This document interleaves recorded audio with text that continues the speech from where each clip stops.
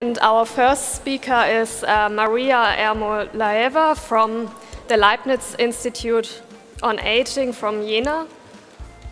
Welcome. Just go ahead. Then. Okay. so first of all, many thanks to the organizers for the invitation. It's uh, actually great to be here with real people. Um, and I really uh, look forward to presenting my work here.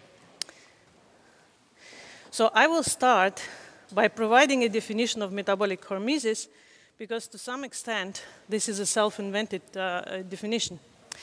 So um, I use metabolic hormesis as an umbrella term to describe interventions whose primary effect on the cell is to induce metabolic stress, followed by activation of adaptive responses that eventually uh, promote healthy aging. The most prominent examples of su such interventions are shown already on the slide. It's physical exercise, dietary restriction, and dietary restriction mimetics such as metformin.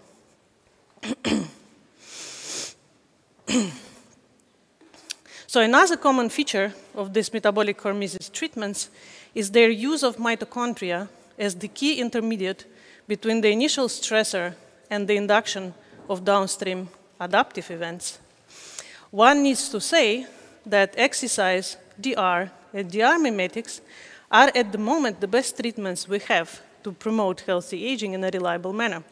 And therefore, one wouldn't want to have any limitations, such as age limitations, for example, for the use of these treatments in adult humans. However, here comes a problem. On the one hand, as I just told you, mitochondria is central for the success of these interventions. On the other hand, we know from multiple previous studies that aging has a strong negative impact on the functionality of this important organelle. So what does this mean for the downstream effects of the listed interventions, and would they even be effective in late life? This was the question we asked ourselves uh, some time ago, and we decided to study this by using um, a well-known diet restriction mimetic metformin as a prototype metabolic hormesis treatment. well, I think in this audience, metformin does not need an extensive introduction. It was already mentioned today a couple of times.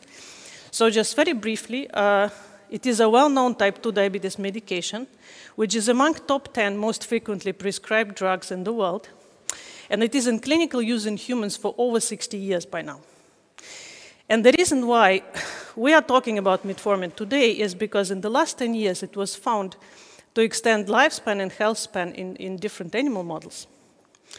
And our question today is this, would, would this be true also if we start treatment in late life? So we started out by reproducing previous data on life extension by metformin in young animals. And as you can see, this worked pretty well for us. However, when the exact same concentration of the drug was given in late life, the result was strikingly opposite, with up to 50% and sometimes even more percent of animals dying from metformin within first 24 hours of exposure. There was a clear dose dependency in both the life extension uh, effect and the toxicity of metformin, but the opposite uh, age-specific effect was true for every dose. We tested and we took those doses from previous works describing uh, life extension by metformin in C. elegans in detail. Um, to, to, begin understanding the mechanism behind this newly discovered late life metformin toxicity, we used um, human primary fibroblasts exposed to replicative aging and culture by multiple passaging. We could see that old cells shown in red were dying much more rapidly from metformin compared to young cells shown in green. So very similar to the observations we made in our in vivo elegans model. We also observed that metformin toxicity coincided with loss of mitochondrial membrane potential, which was again uh, much more prominent in old cells compared to young ones. And this made us think that metformin may do the killing by inducing mitochondrial impairments. Because mitochondria is the key player in cellular ATP synthesis, we next measured um, ATP content in young and old cells exposed to metformin. Indeed, seeing that metformin has a capacity to cause ATP exhaustion, which was, again, uh, much more prominent in old cells. Um, moving to in vivo experiments in worms, we found that metformin treatment, shown here in light brown color, uh, did not uh, trigger a reduction of whole body ATP content uh, in young animals, pointing towards existence of adaptive uh, mechanisms that sustain stable ATP levels during young, young age metformin exposure. However, old animals demonstrated a strong reduction of ATP content in response to metformin. And uh, this, this means actually uh, sometimes over 70% reduction in just 24 hours of treatment. Mm, bringing us to, to the thought that is this acute ATP exhaustion caused by cumulative impact of metformin and aging on mitochondria. So this ATP exhaustion is the key driver of late life metformin toxicity. so we next wanted to understand what are these metabolic adaptations that allow young animals to maintain stable metabolism during metformin exposure, and what, uh, well, makes them go bad in late life. Um, one obvious candidate was glycolysis, and we could indeed observe elevated ECAR levels in uh, cultures of young cells exposed to metformin, consistent with elevated use of glycolysis by these cells. Importantly, this um, metformin adaptation was strongly abrogated in old cells. We next performed ECAR measurements at the whole animal level uh, in worms. Uh, first of all, seeing that old animals demonstrate a strong reduction of baseline glycolysis, and also they were not able to activate glycolysis in response to mitochondrial distortion delivered by FCCP treatment in this case. So the baseline was reduced and the responsiveness was lost in case of glycolysis. We could uh, next associate the inferior glycolytic capacity of old animals with the reduced expression of the entire pathway in late life by proteomics. And um, in this next experiment, we measured again by proteomics the expression of the glycolysis pathway in young and old animals exposed to metformin for two different durations of time 24 hours and 48 hours. And interestingly, the highest expression of glycolysis was detected in a small population of old animals that managed to uh, survive until 48 hours of metformin exposure, which means that they were able to overcome the most acute phase of metformin toxicity that happens within the first 24 hours, as I told you previously. So these are metformin survivors, and they show the highest expressions, highest induction of glycolysis in response to metformin, really emphasizing the key role of glycolysis uh, as an adaptation uh, during metformin exposure. um, another adaptation we studied was lipid turnover. In this case, we used oil red O staining to measure whole body lipid content in C. elegans. We could clearly see that metformin treatment uh, induced very uh, obvious reduction in lipid content in young animals, consistent with the role of metformin as a diet restriction mimetic. We could nicely quantify this with each dot uh, representing one worm in this case. Strikingly, this metformin effect was completely abrogated in old animals that, first of all, accumulated more fat to start with, and uh, next, they also didn't lose it in response to, to metformin. Because, the, um, because lipid turnover strongly depends on uh, functional mitochondria, this result pointed once again toward the potential central role of mitochondrial dysfunction in the reversal of metformin benefits in late life. To validate this hypothesis, we ask the following question next. Can mitochondrial dysfunction alone trigger metformin toxicity independently of aging? So in this experiment here, oops, now I'm also facing this, okay. In this experiment here, we compromised mitochondria of young fibroblasts by treating them with mitochondrial toxin FCCP, and we found that this was completely sufficient to make these cells sensitive to metformin toxicity despite of them being young. Consistently, co-treatment of young C. elegans with FCCP and metformin triggered premature onset of metformin toxicity in these animals, while age-matched controls demonstrated lifespan extension as expected.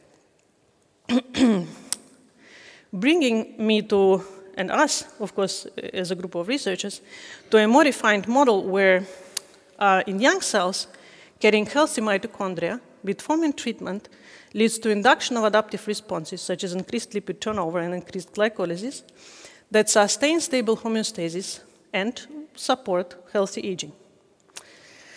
Um, conversely, the um, induction of metabolic adaptations to metformin is blocked by mitochondrial dysfunction during aging, leading to ATP exhaustion and eventual demise of cells and tissues. So now that we know what the problem is, how do we fix it? Because we do not want to miss the positive effect of metformin just because of age. So one, uh, the, the two most obvious possibilities that come to mind is that first of all, we can try to fix mitochondria itself, or we can try to fix the downstream events. Uh, before we uh, try to fix mitochondria, we need to find out what exact uh, aspect of mitochondrial dysfunction is the most critical for metformin toxicity. And we took a little detour on our way to this answer by asking initially a complete different question.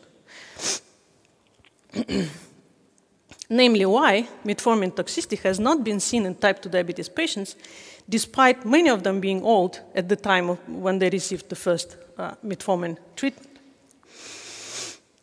We cannot, of course, model diabetes in its entire complexity in C. elegans model, but, but, we can model insulin resistance at the molecular level by doing tests in um, hypomorphic mutants of the C. elegans insulin receptor DAF2. And that's what we did here. So as wild-type control animals showed young age life extension and old age toxicity with metformin as expected, we could see that uh, insulin receptor mutant animals that were age matched uh, did not, uh, so they appeared to be protected from late life metformin toxicity consistent with lack of reports of metformin toxicity in diabetic patients. At the molecular level, this protection of DAF2 mutants was associated with highly stable ATP levels in these animals. The levels didn't change neither during aging, as we can see by comparing black and gray bars. They also didn't change in response to metformin. Importantly, this uh, molecular protection was completely reversed by an additional uh, mutation in the important stress response mediator, DAF16, which indicates that this perceived metabolic stability was likely an adaptive response to um, continuous metabolic stress experienced by these animals due to insulin receptor deficiency. So we next used proteomics to compare aging of wild-type animals to aging of DAF2 mutants with the idea of identifying mitochondrial features that can possibly explain metabolic stability during late life metformin exposure. Interestingly, the, the, strongest differences between the two backgrounds were in the overall mitochondrial content and in the expression of mitochondrial complex 1, which is known to be the, the, the key target of metformin. Both mitochondrial content and complex 1 expression were reduced in aging wild type, and both of these phenotypes were alleviated in the resistant mutant, suggesting that reduced mitochondrial content may be the key driver of late life metformin toxicity. um, in line with this hypothesis, we could also see, and this is all proteomics data, that um, highest values of mitochondrial content were indeed present in this old, uh, uh, in this population of old animals that were able to survive the initial wave of metformin toxicity.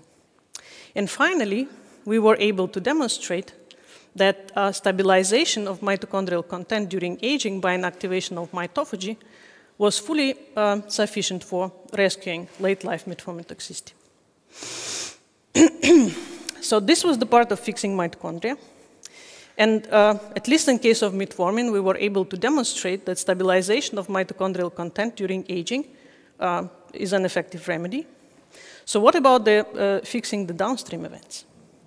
In this case, we decided to choose this ATP exhaustion that is driven by a cumulative uh, effect of metformin and aging on mitochondria as a downstream event of interest to target. We could indeed uh, show that ectopic uh, ATP supplementation in culture media was able to rescue old cells from metformin toxicity. That was a nice result to see. We also found that mitochondrial integrity was equally rescued, which indicates that stable ATP levels are needed for the activation of adaptive responses to metformin stress. Um, well, unfortunately, ATP is not bioavailable in vivo, so we had to look for a different intervention that works in vivo and can mm, act by stabilizing systemic ATP content. And um, we thought of rapamycin as one such intervention because this drug is known to reduce systemic ATP expenditure by inhibiting uh, ribosomal biogenesis and protein translation, so the two processes that are highly energy demanding. and we were happy to see that our idea worked, and rapamycin was indeed instrumental. So th this is now the, the dark blue line on the graph. So rapamycin was instrumental in alleviating late life metformin toxicity.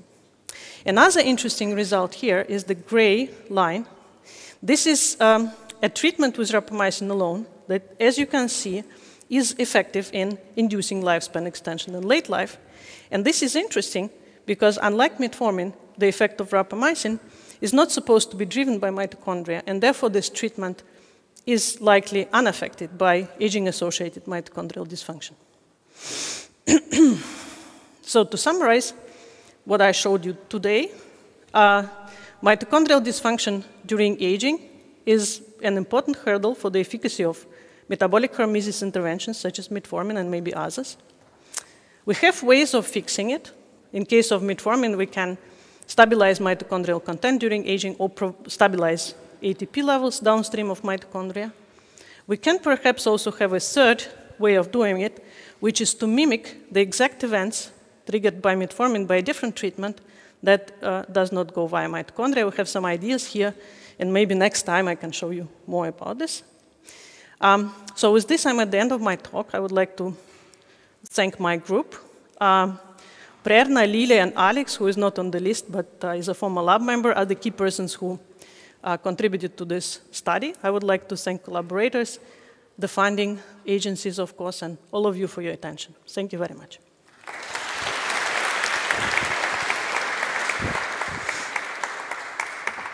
Thank you very much, Maria. Um, we will just briefly shut down the screens here in the ceremonial hall, but it will soon work again, but it doesn't shouldn't influence. Good, it didn't happen during the, the talk. Yeah.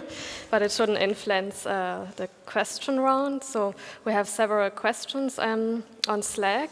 Mm -hmm. One of the most upvoted questions are from Wilbert Vermey. Um, he's asking, could it be that metformin triggers a protective response that also is already endogenously activated during aging?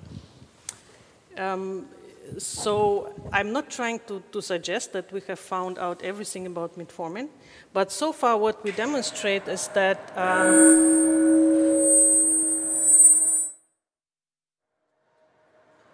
Can I continue? Oh, maybe we should maybe briefly not. wait.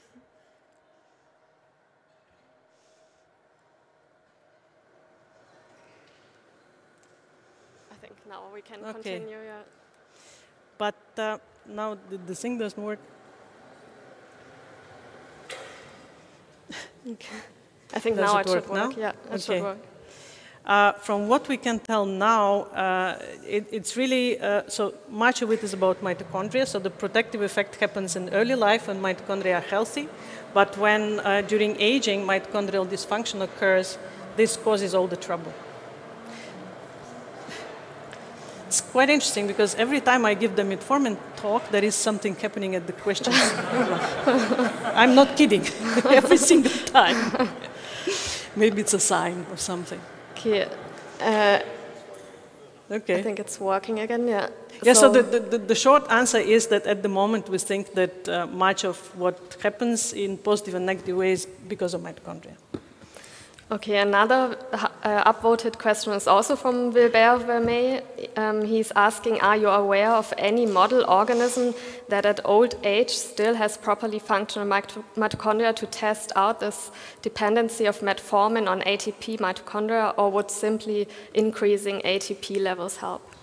Well, the model organisms we work with, which is C. elegans, human primary cells, and we also did some work in, in short-lived killifish, so there we always see um, that mitochondria declines during aging.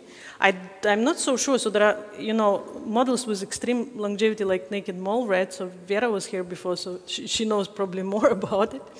Um, I think the way we could show that mitochondrial dysfunction is really the key event is by compromising mitochondria in young cells and animals and then seeing that this alone can basically cause the entire metformin toxicity, independently of the, you know, the age of the rest of it.